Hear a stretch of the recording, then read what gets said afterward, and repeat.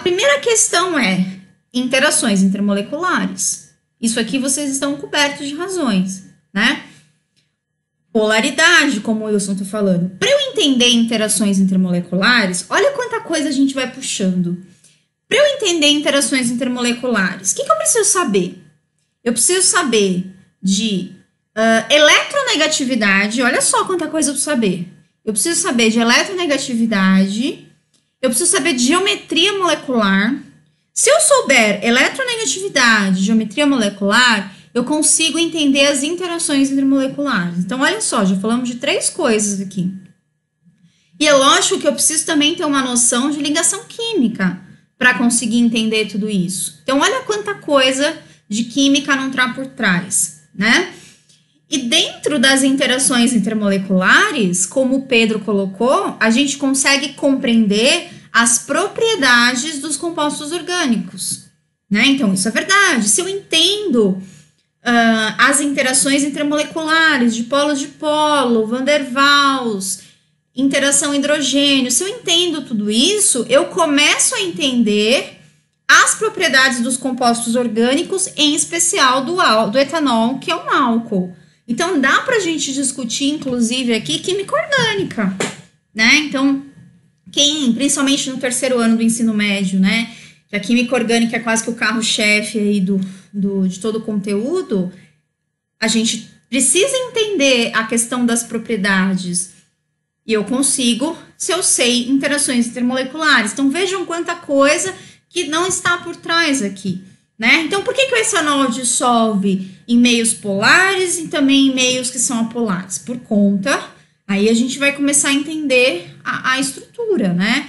A gente tem uma região que é apolar. Aqui, para entender tudo isso, é ligação covalente, que eu preciso saber, é uh, eletrodiferenças de eletronegatividade, geometria molecular, como o Jonas, o Jonas comentou, né? Tem muita coisa aqui por trás que a gente pode estar tá discutindo, né? E ainda, né, nós falamos da camada, do envelope do vírus. O envelope do vírus é o quê?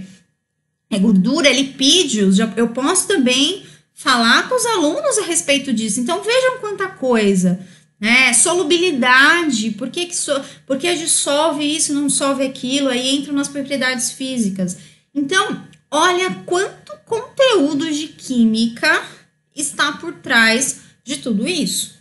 Ó, então tem muita coisa que a gente consegue trabalhar começando a nossa aula com algo que é real para o aluno né? A gente sempre fala, a aprendizagem ela precisa ser significativa para o aluno. Então eu preciso trazer coisas que façam parte do mundo dele para que eu consiga despertar interesse nesse aluno. Eu preciso começar a minha aula com um porquê. Por que, que eu preciso saber esse conteúdo? A gente tem mais que uma explicação agora, né? Ou seja, nós estamos passando por uma pandemia e a gente precisa ter medidas de higiene, né? Esse, esse é um dos esse é um do, do, dos pontos né, que a gente precisa se atentar na questão da, da higiene. Então, a gente tem mais do que uma necessidade justificável. Entendam sempre isso. O aprendizado precisa fazer parte do mundo do aluno que eu estou tratando. Né? Ou seja, ele precisa entender, ele precisa sentir necessidade de aprender o conteúdo.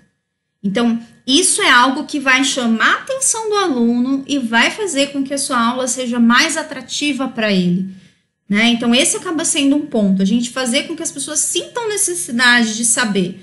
E aí, quando a gente começa a falar é coronavírus, né? Quando eu falo que o conteúdo precisa fazer parte da realidade dele, infelizmente, a pandemia está fazendo parte da realidade do mundo inteiro, né? É, é triste falar isso, mas é verdade, né? Está fazendo parte de nós como humanidade, independente de onde nós estamos localizados, praticamente isso faz parte do nosso dia a dia hoje, essa preocupação. Né? Então, e esse assunto hoje não é só questão de trabalhar química, mas também como uma necessidade é, social, né?